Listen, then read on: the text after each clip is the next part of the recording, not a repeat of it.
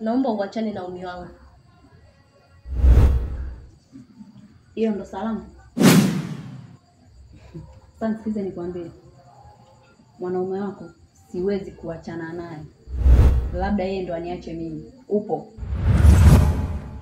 Eti akuache wewe. Dada, naomba ujiangalie. Mimi huyo mwanaume nimetoka naye mbali na tuna malengo.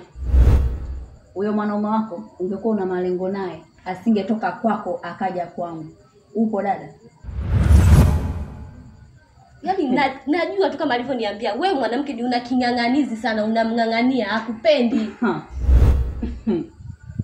Mimi ningekuwa king'ang'anizi angeshaniacha muda. Mwanaume wako wewe ndo king'ang'anizi, simwachi, haniachi na niko naye natamba naye. Upo Kwa hiyo najikuta unayaweza sana, si ndio? sana, ndio maana bwana wako katoka kwako kaja kwangu. Ha. Nimekuita kistaarabu lakini umejikuta una mdomo. wewe ungekuwa mstaarabu dada, ungeenda kuongea na mwanaume wako, usingekuja kuongea na mimi. Unanielewa? Kaongea na mwanaume wako wewe, ndio nakwambia wewe kazungumze na mwanaume wako. Kwanza mwanamke mwenye akili hawezi kubichana na mwanamke kwa sababu ya, ya, ya mwanaume. Ongea na mwanaume wako, kaa ndani na mwanaume wako uongee naye, sawa? Kwa hiyo unatakaje sasa mfano? Unavyotaka wewe na mimi nataka. Upo Nimekwambia achana na mwanaume wako Wewe, Wewe wewe halo we halo tena. Stop. Full stop. Slow down, work ahead. Anacheka kizungu. Nimekaa pale nje na wasikiliza eti oh, wacha ulimwengu mimi kwangu sijui tuna malengo oh, oh, nimetoka naye Brazil, Mogadishu, sijui Sumbawanga oh, sijui nini na nini. Hasa nyie mnagombana nyinyi jamani, nyie amuwajui wanaume walivyo. Sisi wanaume tuna protokol zetu bwana.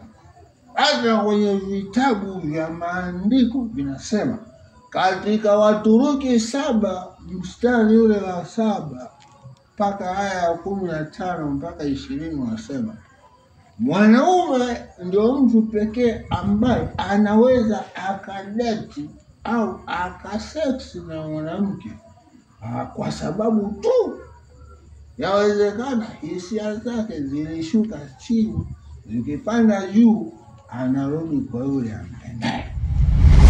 Lakini katika wanani wale wale wa Brazili tatu mstari huyo wa tisa unasema mwanamke akiseksi au kudeti na mwanaume mwingine, ina maana ya kwamba amedhamiria kuanzia kuvua nguo, kufanya kujiachia, itimisi huyo amedhamiria, ila mwanaume anaweza akafanya ikawa hajadhamiria. Ndio maana atarudi kwa yule anayempenda. Hasa nauliza swali, wewe si anakupenda sana. sana eh? Hasa mbona yuko na huyu?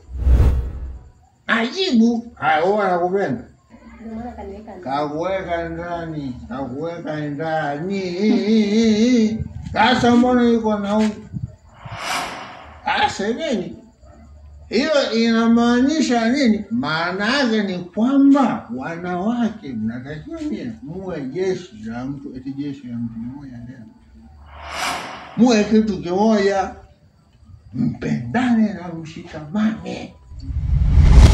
Hata kwenye maandiko yanasema pia katika Wafilipino sita ule mstari wa kumi na nane unasema hivi kwa mfano wanawake duniani mko wengi kuliko sisi wanaume, si ndio? Maanake ina maana wewe unaweza ukamsitiri mwanamke mwenzio ukamwambia, shoga yangu, njoo uolewe na mwanaume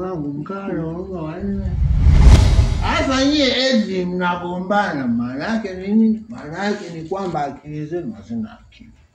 Hasa nawashauri, naona hata mimi hivi, simeniona mimi huyu hapa yenyewe nimetoka kutatua ugomvi. Huyu eti anasema mimi nampenda Ankonyagi ni wa kwangu, na huyu naye anasema nampenda Ankonyagi ni wa kwangu. Mimi nikasema nawapenda wote, sura kwa nao wapenzi wangu, mi sijui na mambo yenu, sijui au ni ujinga gani? Hapana, pendaneni bwana, shikaneni mikono, pendaneni, maisha yaendelee. rais mwenyewe tu ni mwenzenu, si ni kweli? upo mawaziri na manini nini ma- manini wote wanawake, wanawake nyie ni jeshi, pendaneni, shikaeni mikono muyamalize. This is the over, the war is over. Yule fara huko akiwepo akiwa na wewe, sio si unakuwa naye kwa mambo yako iko siku kama ni riziki yako wewe atakuwa kwao, kama ni riziki yako atakuwa. Sasa mnagombana mjini hata kusaidiana. Wabebali kumi na mbili mstari wa sita mpaka tisa unasema usiache mbachao, eti usiache mba chao tena uka eh, okay. Unasema upendo ni kitu cha msingi, kwa hiyo pendaneni, wanawake pendaneni. Naomba umpe mkono wa upendo, muyamalize haya mambo pendaneni, shikaneni mkono, muyamalize.